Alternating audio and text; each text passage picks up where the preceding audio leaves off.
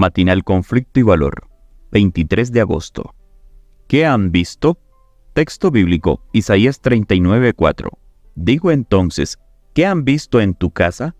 Y dijo Ezequías, todo lo que hay en mi casa han visto, y ninguna cosa hay en mis tesoros que no les haya mostrado. La visita de los embajadores a Ezequías estaba destinada a probar su gratitud y devoción. Si Ezequías hubiese aprovechado la oportunidad que se le concedía para atestiguar el poder, la bondad y la compasión del Dios de Israel, el informe de los embajadores habría sido como una luz a través de las tinieblas. Pero él se engrandeció a sí mismo más que a Jehová de los ejércitos.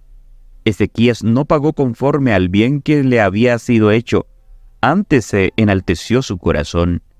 El relato de cómo Ezequías no fue fiel a su cometido en ocasión de la visita de los embajadores contiene una lección importante para todos.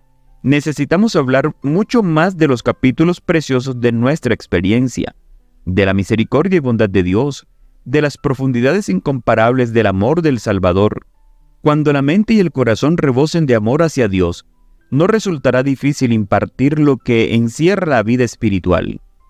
Entonces grandes pensamientos, nobles aspiraciones, claras percepciones de la verdad, propósitos abnegados y anhelos de piedad y santidad hallarán expresión en palabras que revelan el carácter de lo atesorado en el corazón.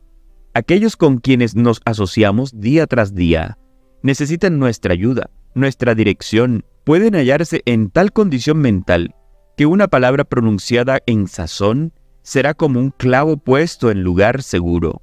Puede ser que mañana algunas de estas almas se hallen donde no se las pueda alcanzar. ¿Qué influencia ejercemos sobre esos compañeros de viaje? ¿Qué han visto tus amigos y conocidos en tu casa? En vez de revelar los tesoros de la gracia de Cristo, ¿estás desplegando aquellas cosas que perecen con el uso? ¿O comunicas algún nuevo pensamiento sobre el carácter y la obra de Cristo aquellos con quienes te pones en contacto? Ojalá aquellos por los cuales Dios ha hecho maravillas mostrarán su alabanza y hablarán de sus obras poderosas.